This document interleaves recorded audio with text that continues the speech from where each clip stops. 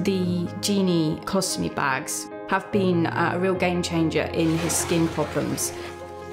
My name's Kirsty, I'm Logan's mum and he had a ostomy when he was seven years old.